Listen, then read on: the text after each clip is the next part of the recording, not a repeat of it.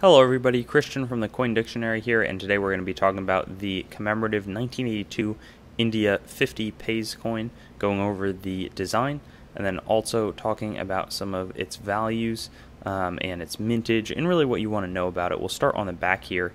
Um, we see the Indian flag on the map outlining the shape of India um, you know, there's a lot of mountainous regions here and quite uh, an interesting border. Then below there's going to be the Indian Ocean that says national integration, um, which is what it is commemorating. Uh, yeah, the, the national integration in India.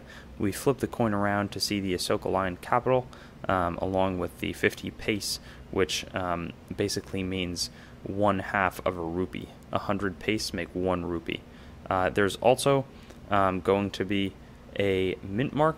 Um, the small dot uh, would mean over here, probably, uh, would be a, um, a non mint mark coin would be from Calcutta. The letter B would be from Mumbai, and if it was a proof, and then a small dot or a diamond would be uh, just from regular Mumbai coins. There's also security edge, so interesting technology there. Um, this was only made for one year in 1982, and it's copper nickel, 5 grams, 24 millimeters across, and 1.65 millimeters of thickness, which means that's pretty similar to um, kind of a quarter in its size approximately.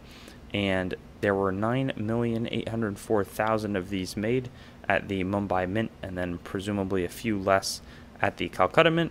Uh, in uncirculated condition, it's probably a dollar coin. Otherwise, it's probably going to really just be like one cent of value to be spent in India, and to collectors, maybe 10 cents um, just in a grab bag by the pound. Thanks for watching the video.